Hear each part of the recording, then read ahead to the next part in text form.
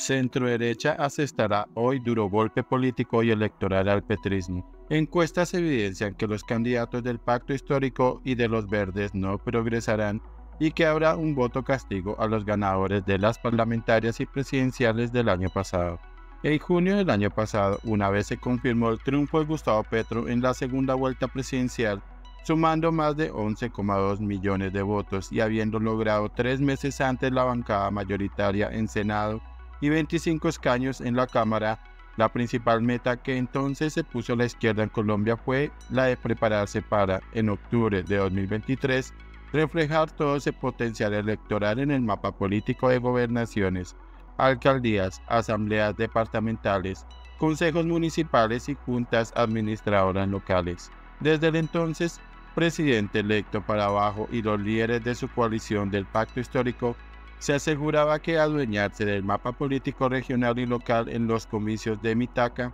como se conoce a las elecciones que hoy se realizan, no solo era imprescindible para aterrizar el proyecto programático del cambio, sino que ese triunfo en las urnas resultaba imperativo para garantizar la continuidad de la izquierda en el poder más allá del 2026.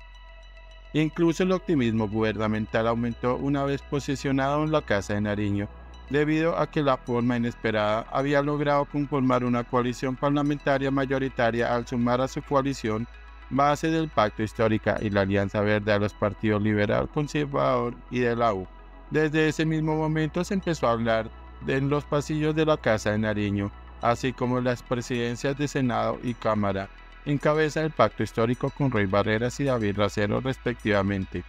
de la posibilidad de que para los comicios regionales y locales se pudieran proyectar alianzas multipartidistas que combinarán las fuerzas de esas colectividades de izquierda, centro y centro derecha. Es más, en las proyecciones iniciales se hacían cuentas de una alta probabilidad de ganar la mayoría de gobernaciones y alcaldías principales, así como de construir una plataforma política y electoral difícil de vencer por los partidos declarados en independencia u oposición. Cambio de tercio. Sin embargo, a punto de cumplirse 11 meses del gobierno petrista, el mega objetivo fijado inicialmente se enruta al fracaso hoy en las urnas. ¿Qué pasó? Son tres los elementos que explican esta situación. Por un lado, Petro muestra hoy índices de desfavorabilidad por encima del 65% y la calificación de su gestión es igualmente muy negativa. Como se sabe, en lo que va de esta administración, el Ejecutivo ha enfrentado muchas crisis, empezando por sus accidentadas y polémicas reformas a la salud,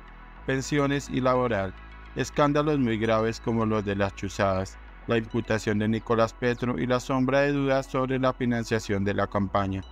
la remación de más de la mitad del gabinete en este corto lapso, las polémicas por la política de paz total, los intensos debates por la propuesta de marchitar la explotación petrolera y gasífera, la desaceleración económica, el aumento de la inseguridad y el desorden público, los bandazos en materia de política exterior, incluyendo el último descache al no condenar abiertamente al grupo terrorista Hamas, la excesiva ideologización de la gestión, la trinadera del presidente Petro como principal plataforma de comunicación de la Casa de Nariño. En segundo lugar, la estrategia gubernamental de cara a los comicios de hoy tuvo un golpe mortal en marzo pasado cuando se rompió la coalición parlamentaria mayoritaria por las críticas de los partidos liberal, conservador y de la U a las mencionadas reformas. Petro los expulsó del bloque oficialista, perdiendo así el dominio del Senado y la Cámara, y obviamente dando al traste con la posibilidad de realizar alianzas multipartidistas para los comicios regionales y locales. A esta fragmentación política debe sumarse que la Casa de Nariño nunca designó a un jefe de campaña del pacto histórico, que además se atomizó en múltiples personerías jurídicas que al no tener un coordinador general se dividieron en la competencia por muchas gobernaciones y alcaldías. En tercer lugar, resulta evidente que los errores cometidos por Petro en estos 15 meses de gestión han fortalecido de forma sustancial a los sectores críticos y oposición, a tal punto que la cita en las urnas de hoy es vista por muchos partidos y dirigentes como una especie de plebiscito impopular indirecto, en el que el objetivo es enviar un mensaje de desaprobación política a la administración de izquierda. Panorama.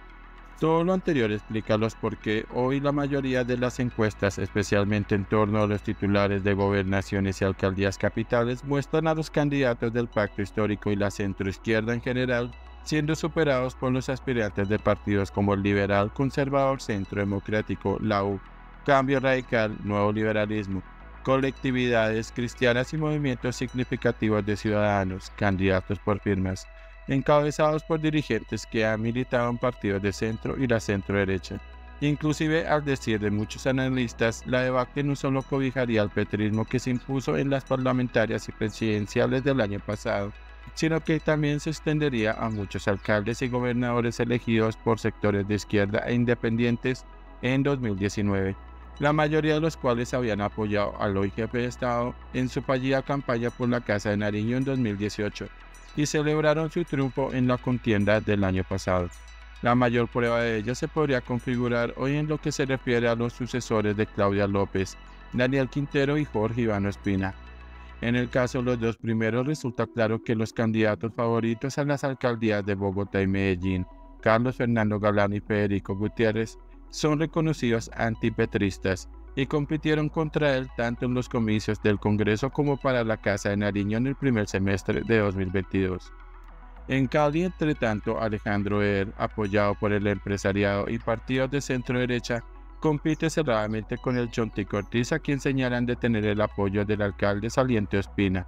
Aún un año atrás, una de las mayores apuestas del gobierno de izquierda era arrebatarle a la Casa de echar el dominio de la alcaldía de Barranquilla y la gobernación del Atlántico. Sin embargo, ese objetivo se frustró puesto que los escándalos derivados de las polémicas declaraciones del ex embajador Armando Benedetti, la imputación de Nicolás Petro y las investigaciones derivadas sobre la financiación de la campaña presidencial demolieron la intentona política del pacto histórico a tal punto que Alejandro Char ganaría hoy su tercer mandato en la alcaldía, en tanto que Eduardo Verano de la Rosa, liberal y con el apoyo del charismo, también repetiría en la gobernación. Cortocircuito. Visto lo anterior, todo hace pensar que el gobierno Petro tendrá a partir del 1 de enero un mapa político territorial en donde primarán alcaldes y gobernadores de una orilla política distinta a la de la izquierda. De igual manera, se prevé que los partidos liberal y conservador seguirán mandando en materia de votación en asambleas y consejos. A ello se sumaría que el pacto histórico no conquistaría un número significativo de plazas en cargos uninominales y cuerpos colegiados, al tiempo que la Alianza Verde también registraría un fuerte retroceso, empezando por la pérdida del cargo más importante que ostenta hoy como es la alcaldía de Bogotá. Como se ve, el mapa político y electoral cambiará hoy en Colombia. Habrá un voto castigo tanto a la mala gestión de la izquierda en varias alcaldías y gobernaciones elegidas en 2019, como a los 15 meses de la accidentada y polémica administración de Gustavo Petro. Los partidos de centro y especialmente los de centro derecha, hoy en la independencia y en la oposición, apuntan a ser los ganadores, evidenciando que el escenario político e ideológico que se configuró en las parlamentarias y presidenciales del año pasado se desgastó de forma muy rápida y sus posibilidades de reflejarse en el poder territorial o avanzar hacia la continuidad más allá del 2026 hoy están más complicadas que nunca.